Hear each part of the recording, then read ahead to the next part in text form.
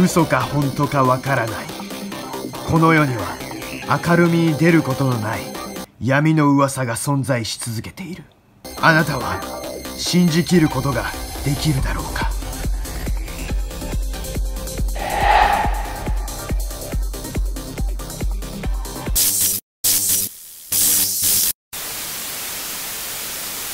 都市伝説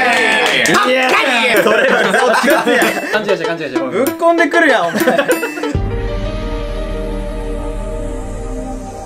沈没した年が1912年4月14日でイギリスからアメリカに行くぜってなって氷山にぶつかってしまって沈没してしまった船なんですよね。重さ460万トン。大輝と同じじゃね。全長約200で大輝とちょうどで多分。確かに。ちょうど。やマジっすもう今何キロだっえ6万8000キロ。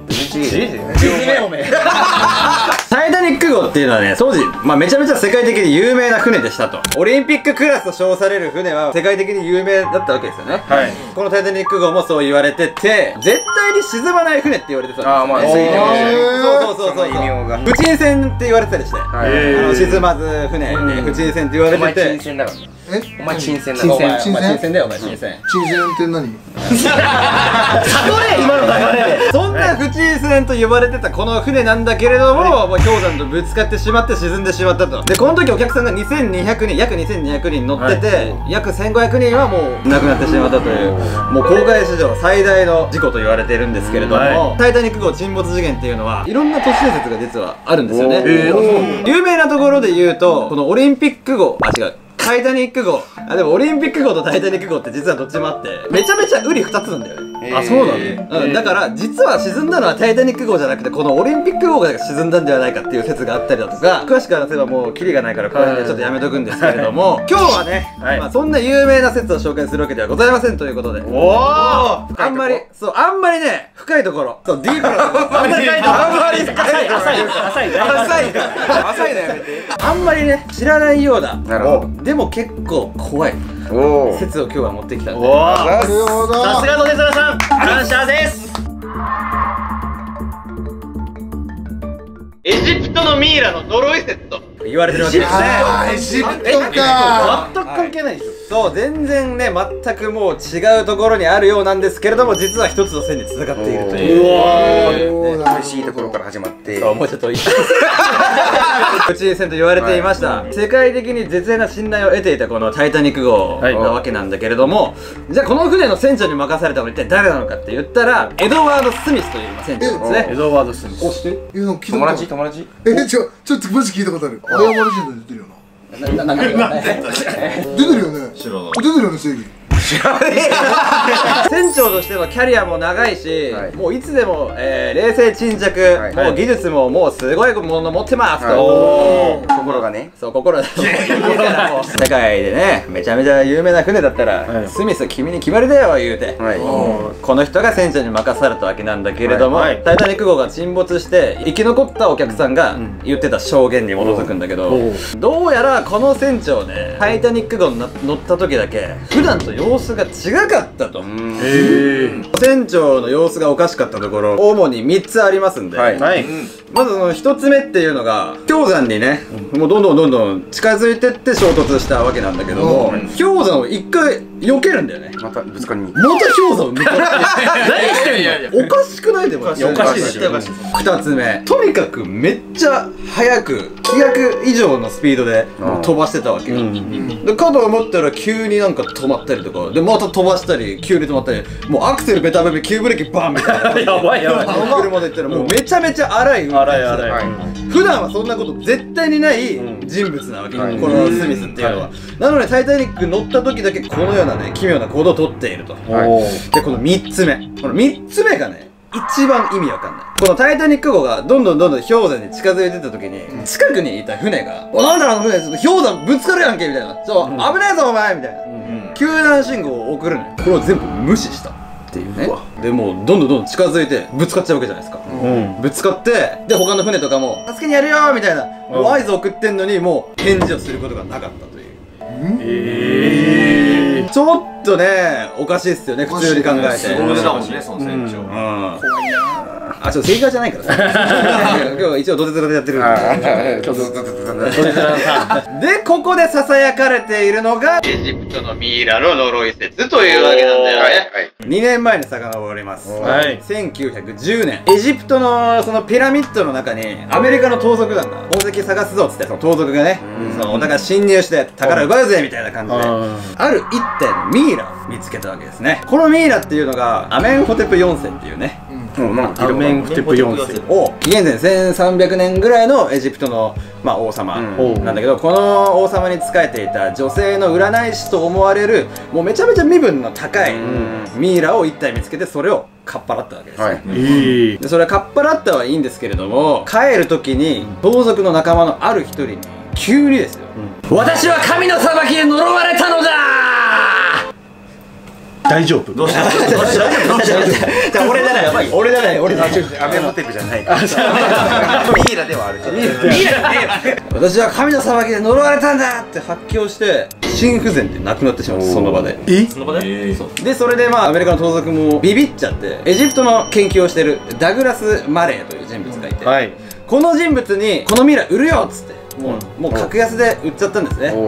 ダグラス・マレーにとっては身分の高いミイラですから、えめっちゃ安いじゃんっつってこれを買ってしまうわけなんですね。なるほど。でもこっからどんどんどんどん呪いが広がっていくわけなんですね。連鎖ですね。ミイラの画像がありますのでそれをちょっと一回見てもらおうかなと。はい。お見たい。それがこちらでございますこれがそのまあアメンホテプ4世に仕えていたその女性の占い師の。すげえ。しっかり残ってんだ骨格ちゃんと女性だもんね。ちゃんとな。じゃんこんな綺麗に残んだうん。すごいよねミイラってうん。普通に。マレーがねはい。このミイラを受け取って普通に生活していたわけなんだけど、まあ、ある日マレーがエジプトに狩りに行った時があったんだね。狩り。狩りに行った時にこう銃を使うじゃん。その銃を使う時にいきなり銃がもうボーンって爆発した。暴発そう暴発した、えーそれでもう右手もうめっちゃ怪我をしてしまったと。大怪我をしてしまったという、えーまあそれでも一応せっかく買ったし持っとこうってなるわけですよ。イギリスの人なんだけどイギリスに持ち帰るってなって、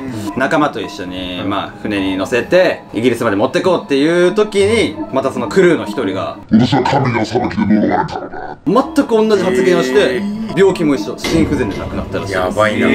もう完全じゃん。それが結構たびたび起きてなかなかイギリスまで持ち込めなかったらしいんですね。ええこう何回か繰り返してるうちにやっとイギリスに持ち込めたんですよ。持ち帰った瞬間にマレーという人物も高熱に苛まれてしまうと。でもさすがにちょっとこれはおかしすぎるなということで、ある富豪夫人にこれを売り渡すことにしたんですよ、おおこれまたもうこいつの呪いが発動してしまって、ええうわ。譲ってもう数日だったか経たないぐらいで奥さんの方のお母さんが急に亡くなってしまったんですねええこれもその盗賊と同じ感じで。神に裁かれて、また呪われたんだ。もう同じ発言で、こんなことがあったから富豪夫人もマレーにちょっと返すわもう嫌だわって返すわってするんだけど、ちょマレーもこれ拒否るわけよ、でじゃあもうもう私も嫌だわみたいな。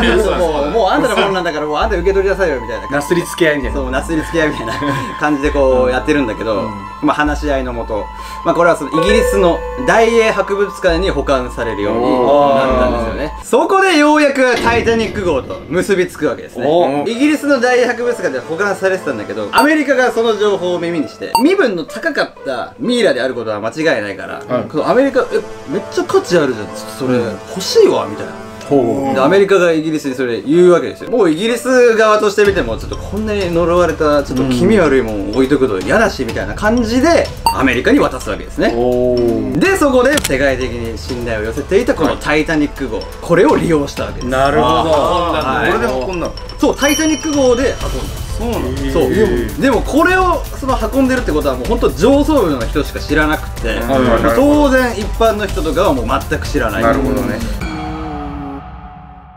タイタニック号で運ぶ時に護符っていうねお守りみたいなもんよね、それをもう大量に貼って、い。もうなんとか被害者は出さんようにしようと、うん。だけどまあ何度も言うように氷山にぶつかって沈んでしまったわけですよねそうそうそうそう。そんなあそれあじゃああれじゃん。てかね。船長の変な動きも、うん。これ。これそういうことなんじゃそう。えこれを運んでたらもう確実なの？大英博物館側はこれを固く否定してるけど、アメリカからの情報だってこれは。うん。だからもうここの時点でもう矛盾が生じる。アメリカは認めているわけだ。そうそうそうそうそう。しかもね沈没した時にまあこれも海にね行くわけじゃないですか、これ引き上げられたんですよ犠牲になった人とかそういう人がいるにもかかわらずこれはもうその貴重な文化財だということでこれ引き上げられたんですよ、でしかも今でもこれ大英博物館にありますから、ね、また戻った。あ結局そう。だから普通に大英博物館これ今あるんだけどイギリス側はあくまでもこれ否定してるんだよね。これは「タイタニック号」に載せたっていう事実あんだが証拠だね。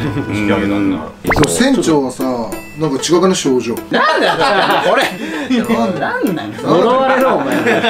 そうじゃない違くない？船長なんか。まあね。だけ、うん。まあだから最近正義さんにその締めがね、はい。あんまりよろしくないとね、はい。まあ言われてますけど、もうそれ言おうとしてました、はいおおあもうまとまってるんですね。あでももうそれもう言われちゃったんですけど。ねなんか言った俺。夏希とか。そのえじゃあ船長呪われたってそれ完全に言おうとしてたんで。てかね。長の変な動きもん。これ？これ。あそれ使って締めようとしてる。そうそうそうそうそう。あまあちょっと違うからいいや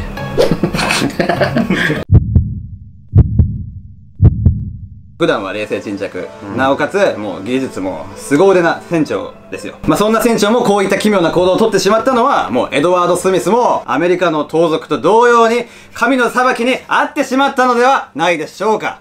信じるか信じないかはあなた次第です2回言ったとこ伝えよ。同じことを同じトーンでもう一回何を変えたんだろう。甘い甘い全然甘い。おーい。また俺に頼るわけね。大樹さん何が気になってたんだっけ？えー船長が、うん。なんか他のその例えば心臓発作とか、とかだったのに船長一人だけなんか違う感じで乗,、っ取られてたの、すごいちょっとなんでってことだね。なんでですか？呪いです。ええー、どういうこやろこれは怒っていいぞ。信じるか信じないかはあなた次第いやもうそれ言っちゃダメだよ。聞いてくだけ。止まらない。喧嘩を目指し走り